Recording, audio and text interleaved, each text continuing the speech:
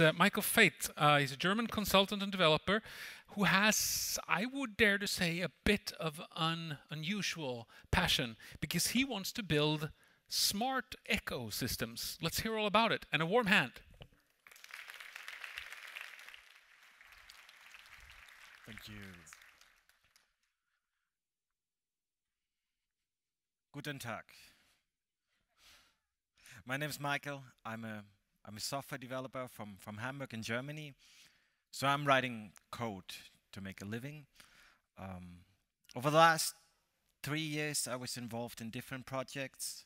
I connected cars, I connected coffee machines, forklifters, and, and now we are connecting electrical poles for, for charging your cars. The goal for today is to, to, to share some of the experiences um, but for actually building an IoT project, for building something.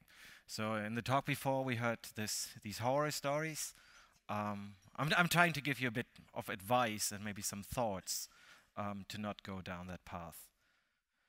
Maybe to start, what, why does it say building smart ecosystems? Why doesn't it say build an IoT project? So let's start with that.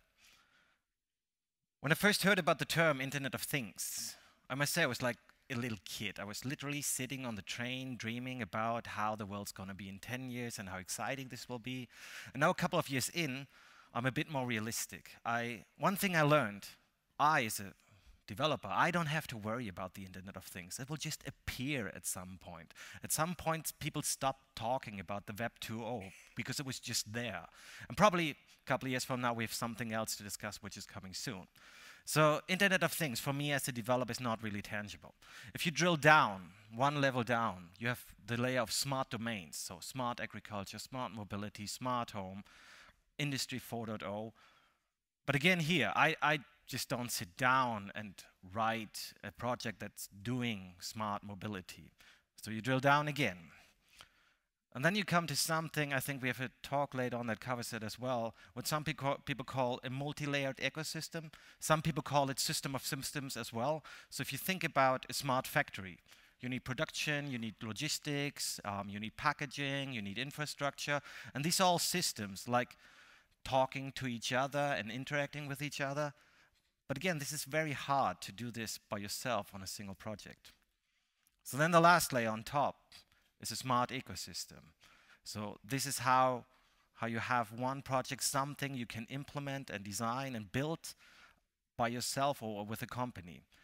It might become more clear if you look at it from bottom up. So if you have this um, device that has a functional by itself, in this case maybe a coughing machine, and you put some computational power onto it, some, some logic onto it, you might want to call it a smart device. On the next layer, you give this device, the smart device, some connectivity, Wi-Fi, 4G, LTE, no, you, it doesn't matter. But still, then it's just a smart connected device.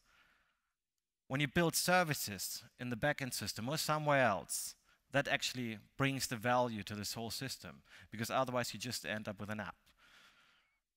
So smart ecosystems are in the middle.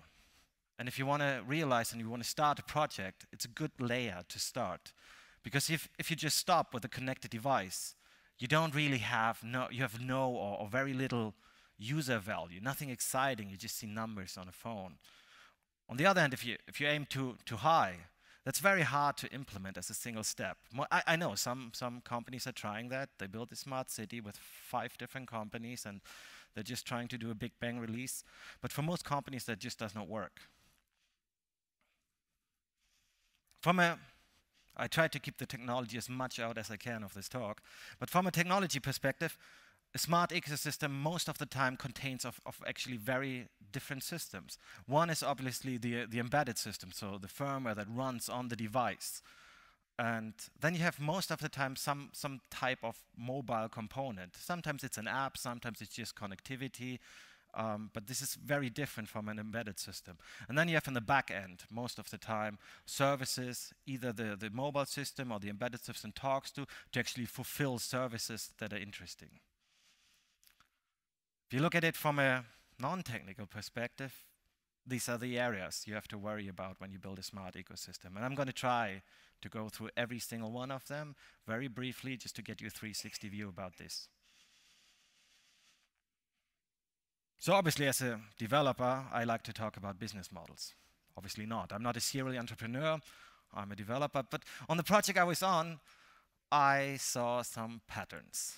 So if you think about technology and business, there's a relation between those two. It's technology enables business, and again, backwards, business drives technology. And the faster you spin this wheel, the more innovation comes out.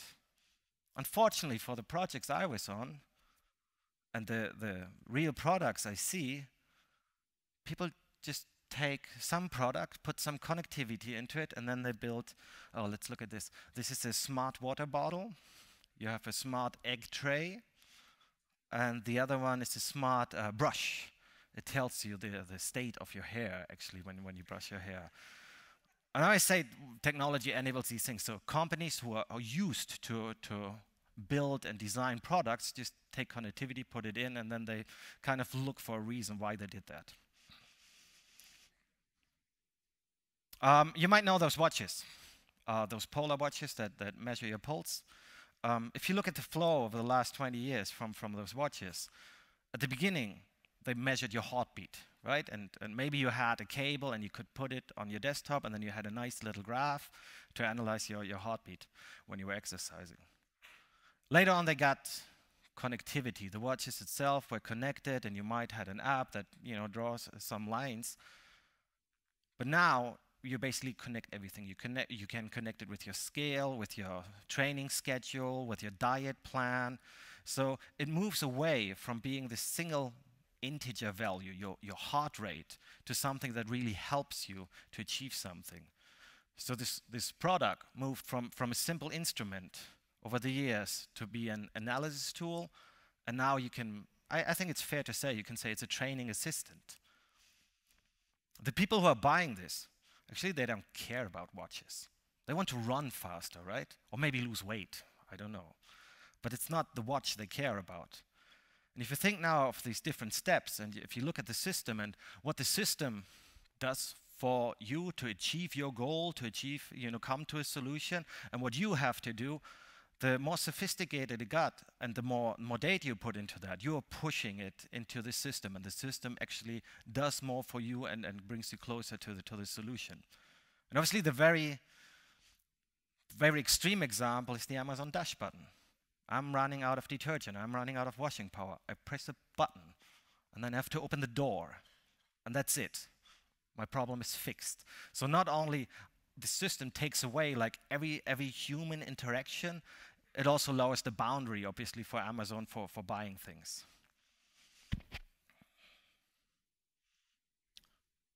Are these, do you know those companies?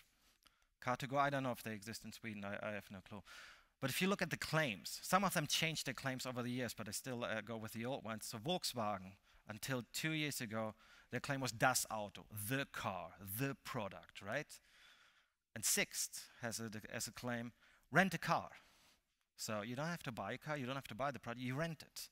And Car2Go, they changed it too, but I really liked Hello Mobility. So there's a strong trend from a product to a service to something, I'm missing a better word, to something that's close to a solution. And the question is, if you're a manuf uh, manufacturer of a product, where are you and where do you want to be? So just don't look only at the product you have, but also think about what, what, uh, what do the people want to do with it. There's nothing more boring than to talk about an organizational structure. Um, but unfortunately, at least on the projects I was on, this was one of the key factors how fast a, project goes and how successful it is. If you want to build a smart ecosystem, there are a lot of things to be done. So you have hardware stuff, you have software stuff, you have analysis and design stuff. And this is done by different people, obviously because you know you need specialists in one one area or another. And at least in big companies, these people are in different teams, in different departments, in different companies, maybe in, on, on different continents. And if you have a normal hierarchical structure, most of the time the coordination is done like this. So departments have meetings, and at some point, this, this one person who did the project plan and just said, oh, this is the release date, then we do integration testing, then, then we, I don't know, have, have to have this kind of documentation done. Unfortunately, on a PowerPoint, this looks really good. In real life, it never works. Then you have steering meeting over steering meeting, but you actually have to have the communication on the ground where people are actually doing the work. So the user researcher probably has to talk to the hardware people as well. A lot of companies then do cross-functional teams. So they take people out of the departments, put them into one thing. And, and honestly, for, for getting something done, for, for doing early communication, this, this actually works well. But I, and I have no silver bullet for that, I have not seen it scaling back into the organization. So you have this one team, but this is limited resources, they can achieve something, but how do you bring this back into an organization to actually scale it? And the idea of cross-functional teams is not new, right? So over the last 15 years, we managed to bring in testing and quality into teams. The same way in the last years we did with operations. So they're not like, you know, different departments anymore. And here we need the hardware design. Here we need the firmware development. We need obviously experienced designer, not only for UIs, but only for, for industrial design. Speaking about experience design, I'm really bad at this, and probably there, there are people that can talk much more about this, but what I've seen is most of the time you have a thing, which is maybe a coffee machine, and then you have some other device. It could be a website, but it can also be a, a mobile application. And now you have different aspects of experience design. I'm using specifically the broader term, not interaction or user uh, interface design, but how is the experience when I use it? First of all, obviously I have the industrial design. So how does the machine look? How does it feel? How it's manufactured and things like that. And then you have the UI design, and, and this is where the problem starts. You have probably have a UI on the on the phone, and you have a small screen on on example um, the machine as well, and these have to work kind of together. So the user will go in a flow from one device to another, and so, so, we have to think beyond the screen. For the last 20 years, we have been, you know, designed to those two-dimensional flat screens, and all of a sudden we have to create interfaces that are only not only completely different, but they're also different interfaces, and they have to work nicely together. And if you have an architecture diagram that just says, "Oh, we have an adapter for UI, we have an adapter for the machine UI, we have an adapter for this," it really has to, you know, there has to be flow. The second problem I've always seen is latency it's not as fast as directly connected, right? So, and, and just, you know, pushing a button and then showing one of those spinners, that just doesn't work anymore. It's a really, really bad experience. And after latency comes offline. So you have these different components and they have to interact nicely together but they will be offline. Everything that is connected will be offline at some point. So you have to think about how does the app function when they don't have when it doesn't have connectivity at all? How does the machine function? And if you think now about a smart home, every single device has to, you know, fulfill its purpose, but it also has to work nicely together once it's connected. Yes, and obviously you want a high technology. Every time I get a new gadget and I have to unbox it and then I have to do the Wi-Fi setup, that's annoying, right? That's not what I want to do. So you really have to push as much as you can to hide the technology. But the Amazon Echo is actually quite nice. It's just a cylinder that sits there, right? And oh, architecture is a good one. Every time I, I, I join a project, I usually talk to, I don't know, the lead architect or however you want to call this person. And then the I'm asking this person, can you, can you draw a diagram from, from a technology perspective? And every single person draws exactly the same. It looks like this. So you have the devices on the left, then you have some kind of platform in between that does a few things, then you have services, and then you have apps. And then I'm asking, like, so what's, what's the project about then? What, what are you actually trying to achieve? Oh, we are not building a product. We are building the internal IoT platform always, right? And most of the time, these people start in the middle because the hardware is not ready. and services and apps, ah, somebody will apps on top of this. Just collect all the data. Data scientists will come and analyze the data. And that's, you get feedback very, very late. I saw a project that was building one and a half years, basically just the, the thing in the middle before they were able to, to, to do something with it. So again, as when you build a website, you don't build it bottom to top, right? You build something, maybe a login screen, maybe a landing page, and you make sure that you build from top to bottom all the way. And the same you should do with, oh, by the way, this is what I'm talking about. It's called platform envy. That's one of the biggest smells in IoT um, you build a walking skeleton. So even it's not, you know, production ready, but have a device, have something in the middle, and then build one service and one app on top of that. And when you try to build a platform in the middle, most of the time you don't build it for one device, but for all of them, everything gets so abstract. And basically you're just rebuilding Amazon IoT. So honestly, for a start, why don't you just use that, or Relayr, or one of the other platforms that are there. One thing you should worry about early on is how, how is your smart ecosystem you're building integrating with other systems? And I, the biggest question is, do you want to be the platform and you know people are connecting to your platform or will you be the participant? And this is, this is a really tough decision.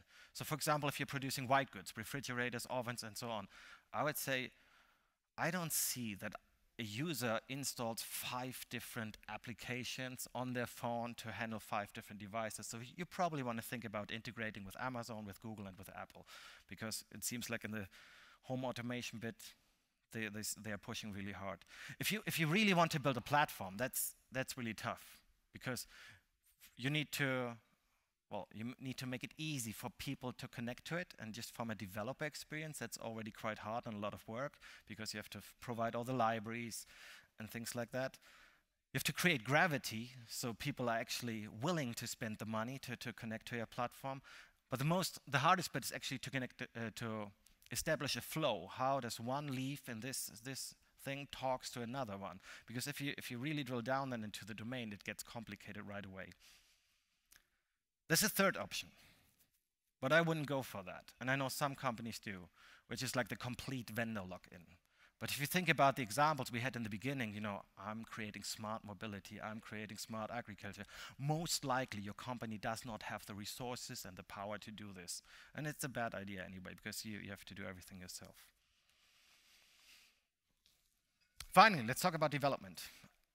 I'm a developer, and on one project, I, I was really excited. The, the hardware was built by a different company, and, and I spoke to one of the developers, and I was really excited. I said, all right, let's define some HTTP endpoints and some JSON structures, and let's get going. And the guy was blank. He just looked at me, JSON, HTTP?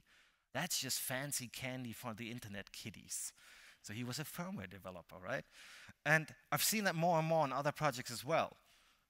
There are people who build information systems and mobile systems, and there's an overlap between that. Building embedded software, at least in real life, seems to be a complete different thing. Not only that there are only very few people who have the full skill set, but also regarding the way of working, the way you test, the way you implement things, it's completely different. And, and the question is, when you build a smart ecosystem, how do you bridge that gap? When I started to to develop, there were, in most companies, there were front-end and back-end developers, and you were either this one or that one. That changed, right? So I guess nowadays, most companies aim for hiring and, and educating full-stack developers because it just seems to be more faster, better quality, more communication. The problem is, as a developer now, I, I have to backend, front end, mobile, Android, iOS, hybrid, Ionic, cloud, operations, Amazon, Azure, machine learning, computer vision, AR, VR, PCB design, embedded 3D printing, blockchain, blah, blah, blah, blah. My head is only this big. This doesn't fit into my head. And so very likely the concept of full stack developer, once we move on, will not exist in this form anymore. And I don't know how it will evolve, but, but it, my feeling is we don't go back to this layer thing, front end, back end, hardware, because it's just very inefficient. And probably we just have to look more what is the people's interest, what are the skills, because most likely people will know two, three, four different things really, really well, and then you just have to have a good team set up. But let's see how that will go. Testing as with the development, testing changed, at least for myself, over the last 10 years a lot. So it moved from something you do manually afterwards into something that's fully integrated into the development process. And it's basically more of a tool right now than something that uh, is is, done afterwards. And there are two things um, that are really, well, let's say the mantras. One is, one is the red-green refactor, so I write a test first and I make sure the test passes. And then I think about how can I make the, the, the, code base a bit nicer and a bit better, and I, and I do this in circles. So I basically, it just creates tests as I'm going. And the second thing is the testing pyramid. So you want to have lots and lots and lots of fast unit tests in the, in, in the, on the ground that you know test all the corner cases, and you want to have very, very little end-to-end -end tests because these are very slow and very hard to execute. And then you have user flows like this. So I'm doing something on the machine, the machine talks to the backend, the backend sends something to my mobile application, the mobile application talks to my machine, I push a button on the mobile application, blah, blah, blah, blah, blah, blah. Testing becomes very hard in this scenario because first of all, especially for the hardware, the, the tools for, for test-driven development are very, very limited. And if I really want to test the corner cases, the machine is broken or it runs out of battery. This is really hard to set up in an automatic way. Most of the time you have multiple teams still working on this, so that makes it hard as well. And then there's this thing how can I write an automated test when a physical user has to push a button on the machine to do something? How do you automate that? Two things you can do, um, we, we found really helpful on the projects. One is build fake components. So this is a Raspberry Pi that acts like a coffee machine. And the good thing is, because, I don't know, it's probably Node written on, on that, I can just tell it, oh, for the next test, just assume you're broken. Done, right? This is not a 100% end-to-end test then, but at least I can test the other components and the corner cases for that. And so you can easier set up scenarios, and you can just imitate the, the physical user interactions. Just assume now, because I'm, I'm calling this HTTP point, that a user pushed a button. That's one way. And the other one is, is, is quite common already, but it's very useful in this, um, in this scenario, contract tests. So you, basically write tests, oh, I'm assuming the machine or the device behaves like this when I do that. And you can run this against your fake components. And every time you get a new firmware update, you can automatically just, you know, run all the tests and I'm I, I can assure you they will never be green. So, but at least then you can point to something, oh, we were expecting this. And then you can talk to the people. So this kind of is a kind of living uh, documentation and you can automatically test the updates. So these two, let's say, ways of working, fake components and contract testing help to handle the beast. But as I pointed out, you won't get 100% automation right away. But just because you get, don't get 100% automation means you still have to push forward and you have to try to automate more things. Oh, we heard a lot about this, right? Um, when, I, when I go to a client and, and they said, oh, by the way, everything has to be secure. It's like, okay. And, you know, privacy needs to be respected as. I say, okay. And then I'm giving them this list because these are basically the attack surfaces you have for information and mobile systems on a very, very abstract and broad level. If you now put the embedded systems into the game, you get a whole lot more. And as Alistair pointed out before, you have a thing that sits in the house of a user, and the user has all the time in the world, and they have a screwdriver. They can open it, they can read out the memory, right? They can basically reverse engineer everything. Then clients usually are a bit upset, and, and the only thing they, they can think about, oh, then we have to do a security audit in the end. Like, ah, this is not going to work. You, you're not going to push your deadline again and again because we find more things at the end. So what I like to do is at least to be able to handle this, this big thing of security a bit more. So I asked them to draw a diagram. And On the one axis, you have the probability. Let's think about all the different you know, issues there might be. How likely is it that they will happen? And the next thing is how, how much does it impact? How much is it a threat to either the company or the user or um, people in general? And then it becomes at least a bit easier because you know you want to fix these first, right? To the upper right, if there are dots on this, let's go for that. Oh, we've seen the scale before. I, I, I own this scale. Not, not exactly this model, but a scale that is connected to the Wi-Fi, and I have had it for a long time. It has not been updated in 10 years because there's no automatic update, and I don't care. It works. It still does the nice graphs, right? Um, so if you think about security, no one cares about updates as long as it works. No one. So the first thing, if there's only one thing you ship your product with, if there's only one thing, you implement automatic and secure over the air updates. Forget about the rest because you can fix it afterwards if, you, if they are automatic and if they are cure, uh, secure. Then you have a good start. Unfortunately, especially with those little devices that don't have enough resources, this is actually quite tricky sometimes because you can't forget the basics. Signatures, so the device can verify that the firmware comes actually from you. Um, key rotation, secure to connections, and you know connecting via SSL to a coffee machine can be tricky. No hard-coded secrets ever. If you start with this, you have a good start.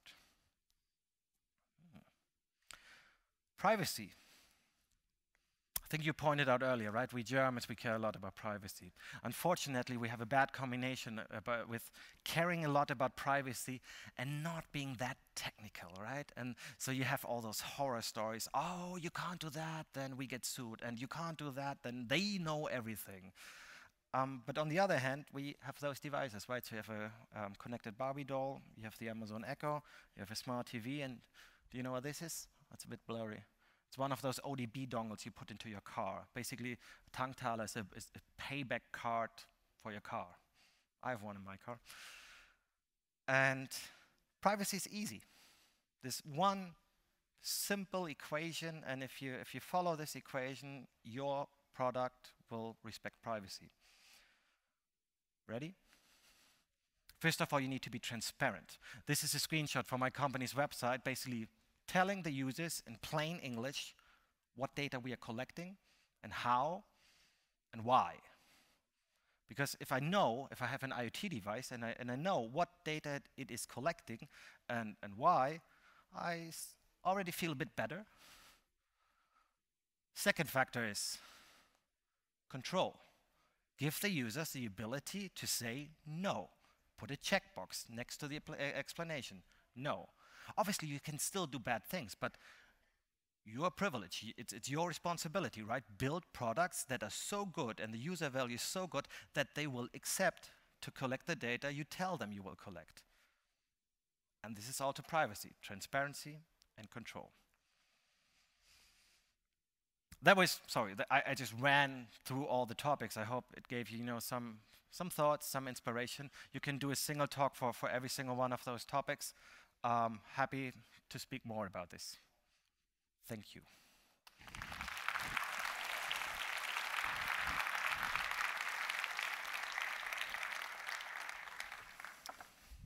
All right, let's uh, have a seat over at the speaker's corner, or what we want to call it. Um, questions from the crowd, of course, are going to be welcome here too. Anybody want to go first? Anyone? Or we go straight to the panel? I can jump in. Yeah, well, we have something from the first row, so go ahead, please. We're going to hear more from you later, but.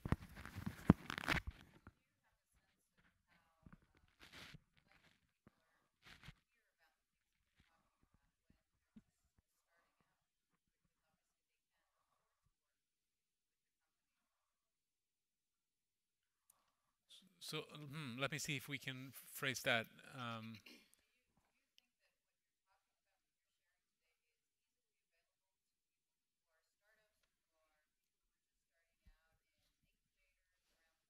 So we're talking about the availability, how, how easy it is to get access to, to his work. Uh, yes, and also do you have the bandwidth to do it, right? When you're a small company, you want to build a product, can you handle all these things? Well, to some extent, you, you have to, right? If you want to, if you really want to build a product, and especially if it's consumer product, you, you can't just throw out prototypes, right?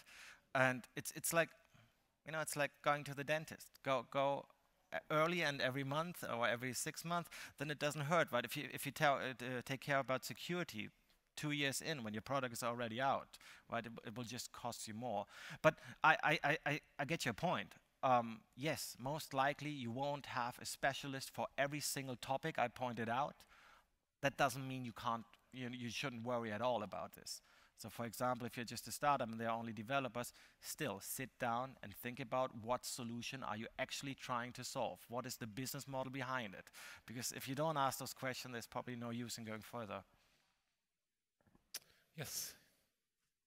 Yeah.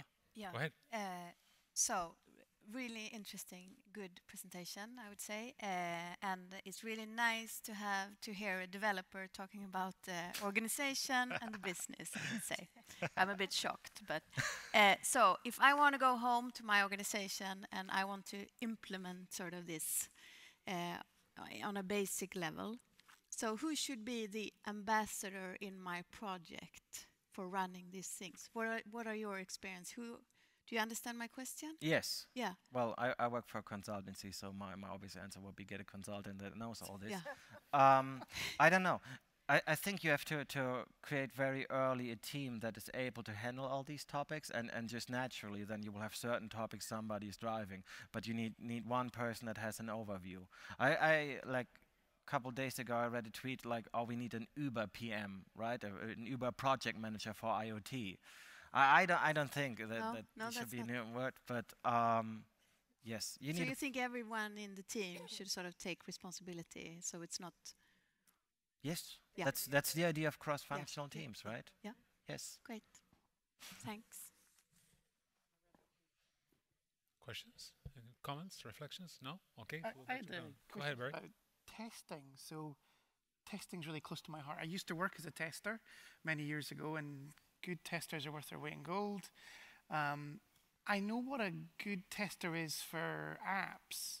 You know, you quit out things, you go through everything, you know, you do the whole UI tree. What's a good tester for IoT? What do they do that's different? Probably someone that, that owns a, um, a Lego Mindstorm set because you know when, when you when you build a device and you have to test a device at some point it takes a device to test a device. So I, I've, I've had projects where they were building I don't know like readers for, for conference passes and they got so annoyed of you know swiping the passes all the time. So they literally you know built a little robotic arm that could swipe for them in an automatic way. Um, I guess um, testing IoT devices on an end-to-end level, because you know hardware testing has been around for a long time, um, is, is quite a new area. So you need testers that that are open and, and creative. I mean, being creative as a tester, that's a good thing, right?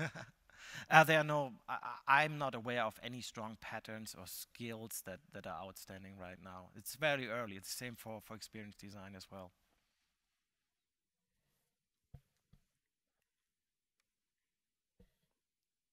You must have been given very thorough answers because people feel like you've met all their questions already. I have one more. Go ahead, Anna. So, how do you how do you develop the model?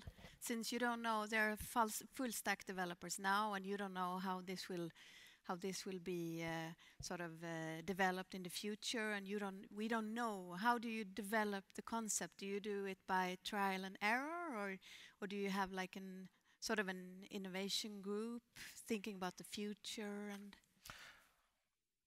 in, in the past on the projects I was on, well, sometimes I also have to rely on the structure the, the client creates, right? So most of the time, oh, we have an agency for that, and we yeah. have you know developers there. Then then the only thing I can do is just bring them together early and make sure you at least co-located for some time. If the app is developed in another continent, fly them over for four weeks for the project kickoff. Um, if you really have a greenfield project, um, just talk to the people and see what, what their expertise is and also what they want to do. Because there are a lot of things, for example, if you think about IoT on a blockchain, mm. there are no people who have five years experience on that. And if there are, you can't afford them. No. Um, so I, I, quite like the aspect from that. There's no, there's no blueprint. Um, you have to talk to people and see that you have a good setup. Because not every project is the same as well, right? Any last reflections or comments before we head on to the next section? No? All right. Um, thank you. First of all, thank you. Thank you very much, Michael. A warm hand. Um, we will continue. We're going to have a micro presentation in the next break from IBM over in the exhibition area. If you want to go check out those guys and see what they're doing. And we're going to be back here at 12 for the last session before lunch. So let, let's even try to make it 11:55 so we can start sharply on time because I'm sure that you don't want to miss what's coming up next. Thank you.